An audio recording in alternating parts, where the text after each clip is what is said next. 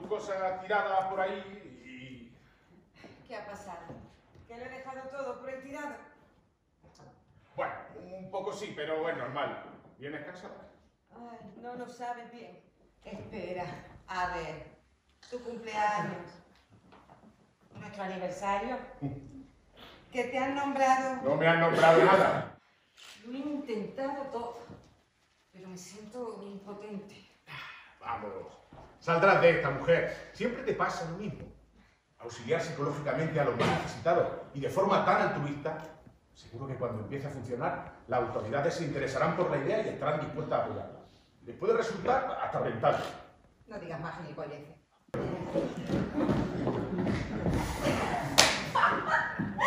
Me encanta aceptarlo. No deberías. Si es que no puedo remediarlo. Respeta mucho, eso es lo que le pasa.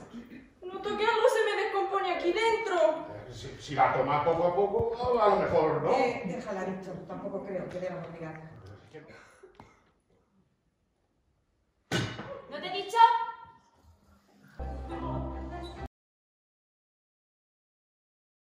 no se puede controlar. Ah, claro. Y que yo suelte la paz, que me quede a expensas de que tu marido no enviude, sí es justicia, ¿no? No mezcles las cosas. ¡Yo la estoy mezclando! Solo te he pedido un favor, por favor. ¿Pero cuántos favores le he hecho tú a mí en toda España? Cuidado más de ti de lo que debías. ¡Más de lo que debía!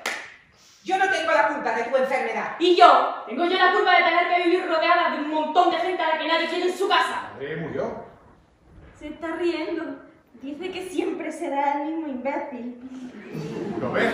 No hay manera, lo hace a propósito. Calla. Esto no es ninguna broma. Si se pone peor tendremos que llevarla a la residencia. No, no, de verdad, si, si no pasa nada. Siéntate. Álvaro va a acabar molestándose, mujer. Voy. He tenido un mal día hoy en el trabajo. ¿Ves cómo te decía que no era el mejor momento para venir? Que no, que no es eso. No sé, cariño, pero... Tranquilízate, si estás entre amigos. Bueno, ¿y para cuándo la boda? No pensamos en casarnos. ¿Y eso? No queremos firmar papeles, nuestro amor no es un contrato. Nunca lo habrá. Yo soy parte de ella y ella lo es de mí. Qué bien lo viste, Alba. ¿Pero qué ha dicho? Pareces tonto. Ha querido decir que él y yo somos uno. Lo, lo mismo nos pasa a nosotros, ¿verdad, Laura? Lo mismo. Señora, usted no debe desconfiar de mí.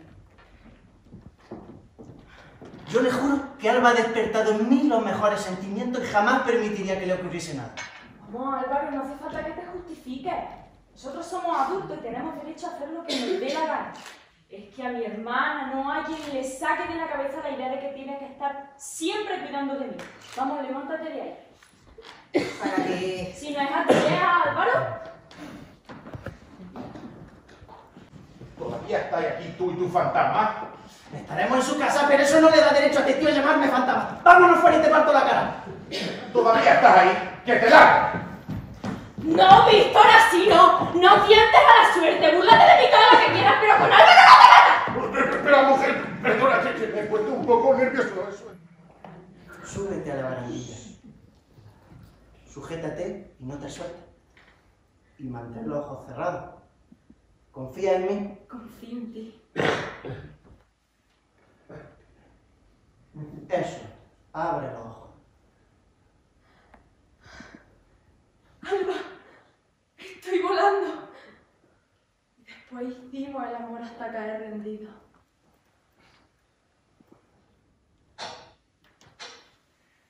Bienvenido, Víctor. Tu cabeza ha empezado a hablar. Solo que tu cabeza no vive Álvaro. Si sino este ser que has ido alimentando día a día, viviendo al límite, odiando mucho, pisando a mucha gente. Que fuera con tal de subir. Tan alto has subido que me has encontrado. Aquí estaba yo, esperándote. ¿A qué no lo sospechaba? Por supuesto que no. No sé si somos menos hipócritas que Víctor. Tal vez no ha saltado todavía el resorte que deja salir esa otra cara. Parece como si algunos la mostrasen del todo, mientras que otros la vamos enseñando poco a poco. En fin,